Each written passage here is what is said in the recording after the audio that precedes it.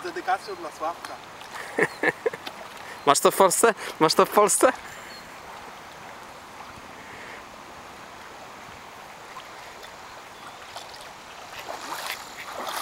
Pokaż go do obiektywu.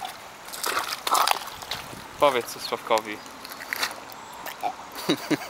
Nie chcę mówić.